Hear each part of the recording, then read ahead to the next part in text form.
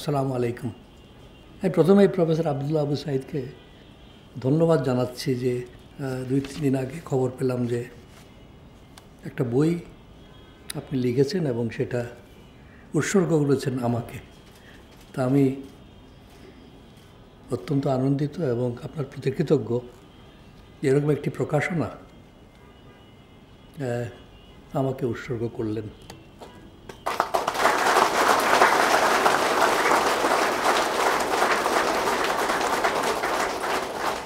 এবং যে ভূমিকা পড়ে শোনানো হলো, প্রফেসর আবদুল্লাহ আবু সাইদ লিখেছেন যে এটা একটা চলনসই রূপ দিয়েছেন উনি।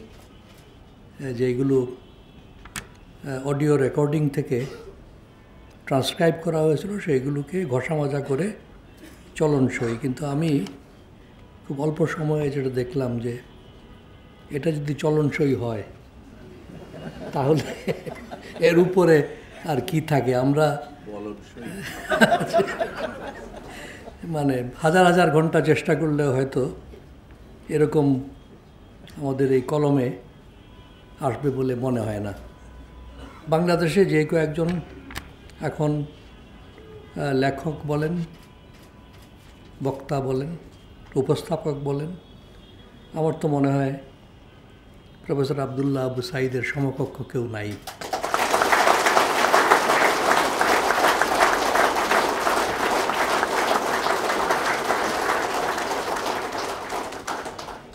আরেকটা লক্ষণীয় যে যেই বক্তৃতা মালা কোয়ান্টাম ফাউন্ডেশনে বিভিন্ন অনুষ্ঠানে দিয়েছিলেন, তার বিষয়গুলোর দিকে তাকালে ইতিবাচকতা এই শব্দটা অনেকগুলোতেই আছে। আলোকিত আর ইতিবাচকতা। আমার মনে হয়েছে প্রফেসর আবদুল্লাহ আবু সাইদের জীবনের অন্যতম মূল মন্ত্র হলো যে ইতিবাচকতা। অত্যন্ত আশাবাদী একজন মানুষ। যদিও মাঝে মাঝে আশাহত হন। যখন হয়তো মনে হয়েছিল যে খুব তাড়াতাড়ি এটা অর্জন করা যাবে। যখন সেই অর্জনটা হয় না তখন আশাহত হন। কিন্তু আশাবাদী সবসময় থাকেন যে এটা না, সময় লাগবে। হয়তো সময়টা উনি যেটা বলেছিলেন সেটা একটু কম হয়ে গেছিল, কিন্তু এটা হবেই। উনি দৃঢ় বিশ্বাস করেন এবং লেখাগুলোতেও মনে হয় তার প্রতিফলন আছে। আমি এই বইটা কালকে পেয়েছি। পুরাটা আমার পড়ার সময় হয় নাই, শুধু শেষের যেই দুইটা লেখা আছে বইতে, যেগুলো ওনার সাক্ষাৎকারের ভিত্তিতে লেখা। আমি পড়তে গিয়ে দেখলাম যে, আমি ভেবেছিলাম যে একটা অনেক সময় অনেক বই এই ধরনের অনুষ্ঠানে আমি যাই। খুব তাড়াতাড়ি এটা পড়ে একটা কিছু বলতে পারব। কিন্তু প্রত্যেকটা বাক্যে পড়ার পরে অনেকক্ষণ চিন্তা করতে হয়, এটা অন্যরকম বই। অনেকে আছেন খুব তাড়াতাড়ি পড়তে পারেন স্পিড রিডিং এই বই হয়তো এক দুই ঘন্টায় পড়ে ফেলবেন। কিন্তু এটা হবে যেটা একটা ব্রাউজিং বলে মানে কোনো গভীরে না গিয়ে খালি এই পড়ে যাচ্ছেন, কিন্তু এটা উপলব্ধি করতে আমি দেখেছি প্রত্যেকটা বাক্যের মধ্যে অন্তর্নিহিত একটা যে অর্থ যেটা আছে ভিতরে, এটা চিন্তা করতে হয়। ছোট্ট একটা উদাহরণ দেই, এটা আমি দেখলাম হঠাৎ যে আমরা যে ঘুষি মারি, আপনার তো মনে আছে যে এটা আমি চিন্তা করি না যে ঘুষি মারার সময় সবসময় আমরা হাতটা একটু পিছনে আনি তারপরে সামনের দিকে নেই। এটারও একটা ব্যাখ্যা দিয়েছেন উনি। এই যে উপলব্ধি, আমি কোনো সময় চিন্তা করি নেই আরেকটা দেখলাম, যুদ্ধে যখন যায়, সব একসাথে যায়। যখন পলায়ন করে, একা পলায়ন করে। ঠিক ঠিক। এইগুলো। যাই হোক আমার একটু সময় নিয়ে পড়তে হবে এই বইটা। এই এই জন্য খুব কমেন্ট করব না, কারণ এটার মধ্যে আমি যেটা আগেই বলেছি যে চিন্তার অনেক খোরাক আছে। এবং বাংলাদেশের, এখানে তো মিশ্রণ দেখছি, তরুণ আছেন, প্রবীণও আছেন, সবাই আমার ধারণা এই বই থেকে উপকৃত হবেন এই পড়ে।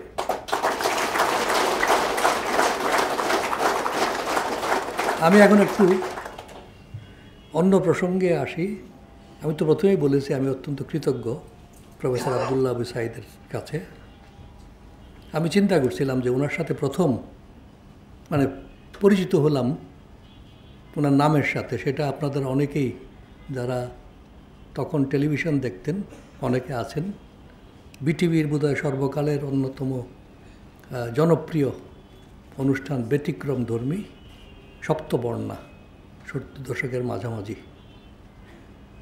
এই ধরনের প্রোগ্রাম, এই ধরনের অনুষ্ঠান প্রফেসর আবদুল্লাহ আবু সাইদি প্রথম উপস্থাপন করেন বিটিভিতে এবং আজকে যারা অনেক প্রতিষ্ঠিত শিল্পী আমরা দেখি, প্রথম টেলিভিশনের পর্দায় প্রফেসর আবদুল্লাহ আবু সাইদি হাজির করেন। এই যে হানিফ সংকেতের কথা বোধহয় বলেছেন কোথায়? জুয়েলাইচ। এরা সবই এই প্রফেসর আবদুল্লাহ আবু সাইদ সাহেবের এটা দেশের বিভিন্ন জায়গা থেকে এনে বিটিভির মাধ্যমে তুলে ধরেছেন তারা সবাই প্রতিষ্ঠিত শিল্পী বিভিন্ন ক্ষেত্রে। এটা একটা কৃতিত্ব এবং ওনার পরিচয়ে সবসময় বলা হয় শুধু শিক্ষাবিদ না, উনি একজন টেলিভিশন ব্যক্তিত্ব। আরেকটা হলো সংগঠন। এই যে বিশ্ব সাহিত্য কেন্দ্র। আগেও আরেকটা লিখেছেন বোধহয়, সংগঠন সম্বন্ধে, যে বাঙালিরা খুব বড় সংগঠন খুব একটা করতে পারে নাই, কিন্তু সংগঠন ছাড়া আমাদের দেশের অগ্রগতি সম্ভব না। এটাও উনি প্রতিষ্ঠিত করেছেন, কীভাবে করতে হবে। তা আমি যেটা ফিরে যাই যে, তারপরে বিশ্ব সাহিত্য কেন্দ্র, আমার মেয়ে স্কুলে পড়ে, একদিন এসে বলল যে, বিশ্ব সাহিত্য কেন্দ্র থেকে কয়েকটা বই দিয়ে গেছে, এই বই পড়া কর্মসূচি। এই প্রথম জানলাম যে স্কুলে, প্রথমে বোধহয় ঢাকার স্কুল নিয়ে শুরু করেন এবং এই খালি বই পড়লে হবে না, বইয়ের উপরে আবার পরীক্ষা দিতে হবে। তখন আমি একটু উৎসাহ নিয়ে দেখলাম। এটাও তো কেউ আগে চিন্তা করে নাই যে এই যে তরুণ প্রজন্মের মধ্যে বই পড়ার অভ্যাস চলে যাচ্ছিল। এটাকে শুধু ফিরিয়ে আনা না, লক্ষ লক্ষ শিক্ষার্থী এখন যারা বিভিন্ন গুরুত্বপূর্ণ গুরুত্বপূর্ণ পদে আছেন এবং বিভিন্ন পর্যায়ে যারা আমি দেখি যে শীর্ষ পর্যায়ে আছেন, এটা সরকারি হোক, বেসরকারি প্রতিষ্ঠানে হোক, অনেকে এই বিশ্ব সাহিত্য কেন্দ্রের সাথে প্রথম দিক থেকেই জড়িত ছিলেন। বিভিন্ন কর্মসূচিতে অংশগ্রহণ করেছেন। সুতরাং এই যে একটা জেনারেশন প্রজন্ম, যেটা বিশ্ব সাহিত্য কেন্দ্রের মাধ্যমে সারা বিশ্বের যে সাহিত্যকর্মগুলো আছে, দেশের তো আছেই, বাংলাদেশের বা- বাংলা সাহিত্যের। এছাড়াও বিদেশের বিভিন্ন ক্লাসিক্স যেগুলো সাহিত্যকর্ম সেইগুলো যে এক্সপোজ করেছেন একটা প্রজন্মকে, এটাও একটা বিরাট সাফল্য। আর আমিও আপনারা শুনেছেন যে শিক্ষকতা করেছি অনেক দিন এখনও আছি, শিক্ষা প্রতিষ্ঠায় জড়িত। ঢাকা কলেজ থেকে প্রফেসর আবদুল্লাহ আবু সাইদ যে শিক্ষার্থীদের বাংলা পড়াতেন, তার মাধ্যমে বাংলার বাইরেও অনেক কিছু চিন্তাভাবনা করতে উদ্বুদ্ধ করেছেন। ওনার প্রোডাক্টটি আমি ইঞ্জিনিয়ারিং কলেজে পেতাম। সো আমি হলাম নেক্সট স্টেজে তখন বেশি চিন্তা না করে এই সাইডে কীভাবে আরও ইঞ্জিনিয়ারিংয়ের দিকে আনা যায়, গণিতের দিকে আনা যায়, এটা আমাদের একটা প্রচেষ্টা ছিল।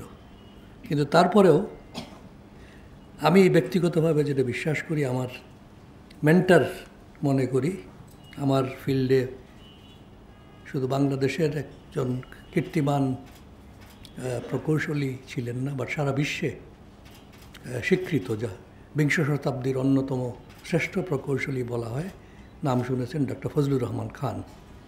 F R Khan নামে পরিচিত, বিশ্বের সর্বোচ্চ যে ইমারত শিকাগোতে একসময় সিয়ার্স টাওয়ারের ডিজাইনার এছাড়া অনেক উল্লেখযোগ্য ওনার সৃষ্টি আছে। তার মধ্যে জেদ্দায় হজ টার্মিনাল যেটা, আমরা হজ করতে গেলে যে টার্মিনালের নামই, এটা একটা ব্যতিক্রমধর্মী স্ট্রাকচার এই ফজলুর রহমান খান সাহেব, ওনার একটা কথা আপনারা হয়তো শুনেছেন, যেটা আমি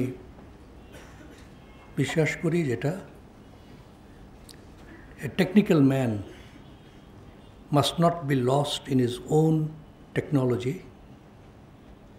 must learn to appreciate life is life is art drama music, and above all, people. মানুষের উপরে কিছু নাই আর যে আর্ট ড্রামা মিউজিক এটা অ্যাপ্রিসিয়েট করতে হবে। না হলে জীবনকে পুরোপুরি জানা হবে না।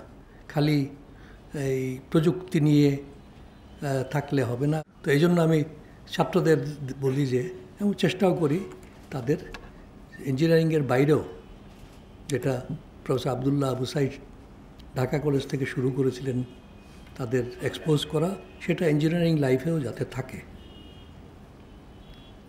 তারপরে সংগঠন নিয়ে আসি যে, যখন বাংলাদেশ পরিবেশ আন্দোলন, এটা শুরু করেছিলেন বর্তমান অর্থমন্ত্রী জনাব আবুল মাল আব্দুল মুহিত। আমি তার সাথে ছিলাম।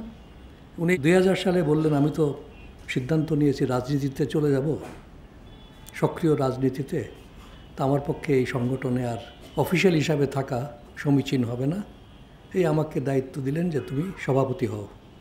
তো আমি চার বছর ছিলাম, দুই হাজার সাল থেকে দুই হাজার চার পর্যন্ত বাপার সভাপতি। তখন প্রফেসর আবদুল্লাহ আবু সাইদ উনি আসলেন এবং ওদের সম্মতি দিয়েছিলেন একজন সহসভাপতি হওয়ার বর্তমানে উনি সভাপতি। এবং অনেকগুলো উল্লেখযোগ্য কর্মকাণ্ডের সাথে সম্পৃক্ত আপনারা দেখেছেন হয়তো যে এই যে বৃক্ষরোপণ ঢাকা উত্তর সিটি কর্পোরেশন মেয়রের সাথে ঢাকায় কীভাবে আরও গাছপালা লাগানো যায়, এই একটা আন্দোলন। এর আগে দেখেছেন যে পরিবেশের যে ক্ষতিকর দিকগুলো, এগুলো নিয়ে আন্দোলন করেছেন। সংগঠন শুধুমাত্র বিশ্ব সাহিত্য কেন্দ্র অন্যান্য সংগঠনও করে যাচ্ছেন। আরেকটু ঘনিষ্ঠ হওয়ার সুযোগ হলো উনি যখন বিশ্ব সাহিত্য কেন্দ্র ভবন নির্মাণ করবেন, আমাকে বললেন যে একটা ডিজাইন কম্পিটিশন, নতুন ভবন হবে, বহুতল ভবন। আমাকে জুরি বোর্ডের চেয়ারম্যান, এটার মাধ্যমে আরও ঘনিষ্ঠ হওয়ার সুযোগ হলো। এবং সর্বশেষ প্রমোশন পেতে পেতে এখন আমি ট্রাস্টি বোর্ডের সদস্য বিশ্ব সাহিত্য কেন্দ্রের। এখন রেগুলার দেখা হয় বিভিন্ন অনুষ্ঠানে, পুরস্কার বিতরণে যেতাম এখনও প্রতি বছর। যেটা আগে হতো রমনার বটমূলে, এইবার থেকে এটা সরোয়ার্দি উদ্যানে চলে গেছে। এর মাধ্যমে আমি ধীরে ধীরে আমার সৌভাগ্য হয়েছে প্রফেসর আবদুল্লাহ আবু সাইদকে জানার, ঘনিষ্ঠ হওয়ার। তো এটা আমার জীবনের একটা বিরাট প্রাপ্তি আমি মনে করি যে যাকে নাম পরিচয় লাগে না, আলোকিত মানুষের যে কনসেপ্ট এবং অনেকে বলেন যে আলোর ফেরিওয়ালা। এই যে সারা জাতিকে উনি আলোকিত করার একটা ব্রত নিয়ে নেমেছেন আন্দোলনে। সেটা জাতির উন্নয়নে আমার ধারণা একটা বিরাট ভূমিকা রাখছে এবং ভবিষ্যতে আরও বেশি রাখবে বলে খুব আশাবাদী। তা আমি আমার বক্তব্য দীর্ঘায়িত করব না। আগেই বলেছি যে এই বই, এটা পড়তে বহু সময় লাগবে। রিডিং পড়া এক জিনিস আর একটা বই এর অন্তর্নিহিত যে ভাবগুলো আছে, এটাকে আত্মস্থ করা, এটা এমন একটা বই যেটা আমার মনে হয় যে শুধু আজকে যারা উপস্থিত তাদের না আরও যারা পাঠক তাদের অনেক উপকৃত করবে। ভবিষ্যৎ সম্বন্ধে অনেক দিক নির্দেশনা পাবেন। তা আমি অভিনন্দন জানাচ্ছি। প্রফেসর আবদুল্লাহ আবু সাইদকে এই বই প্রথমে একটা পার্ট বলা এবং পরে ঘষা মাজা করে যেটা বলছেন যে চলনসই এটার জন্য। আর কোয়ান্টাম ফাউন্ডেশনকে আমি কয় বছর আগে, বোধহয় দশ বছর হয়ে গেল, একবার এসেছিলাম একটা বক্তৃতা দিতে এই, তখন এত দর্শক, শ্রোতা ছিলেন না। কিন্তু একটা জিনিস আমাকে খুব অভিভূত করেছে আমি। ঘরটা একটু অন্ধকার ছিল আমার যদ্দূর মনে পড়ে। দেখলাম যে প্রায় দুইশো জোড়া চোখ অন্ধকারের মধ্যে জল জল করে। আমি কোনো দিন এরকম একটা অডিয়েন্স পাই নাই। এক সবাই আমার দিকে তাকিয়ে আছে। আবদুল্লাহ আবু সাহেব যেটা বলেছেন, আমারও এই অভিজ্ঞতা। আমি জানি না, কিছুদিন পরে দেখলাম যে আমার বক্তৃতা এক্সটেম্পোর যেটা দিয়েছিলাম, পুরাটা লিখিত আকারে ইন্টারনেটে কে জানি দিয়েছে। এটা আমেরিকা থেকে আমাকে পরিচিত একজন বলল, আপনার বক্তৃতা কোয়ান্টাম ফাউন্ডেশনে দিয়েছিলেন দেখলাম ইন্টারনেটে। তো এটা মনে হয় কোয়ান্টাম ফাউন্ডেশন সবসময় আপনারা করেন মনে হয় যে, যা বক্তৃতা উপস্থিত হোক, লিখিত হোক, এটাকে রেকর্ড করে ট্রান্সক্রাইব করা। আমি কোয়ান্টাম ফাউন্ডেশনকে আবারও ধন্যবাদ জানাচ্ছি। তো বহুমুখী কার্যক্রম গুরুজির নেতৃত্বে, যেটা হচ্ছে আমি অভিনন্দন জানাচ্ছি। প্রতি বছর দেখি সংখ্যাও বাড়ছে যারা কোয়ান্টামের সদস্য এবং কর্মকাণ্ড বিস্তৃত হচ্ছে। আমি জানতাম না যে আপনাদের প্রকাশনা উইঙ্গ আছে। আমার ধারণা ভবিষ্যতে আরও এই ধরনের বই বের করবেন যাতে পাঠকরা উপকৃত হতে পারে। তো আপনাদের সকলকে ধন্যবাদ। আপনাদের সাফল্য কামনা করি।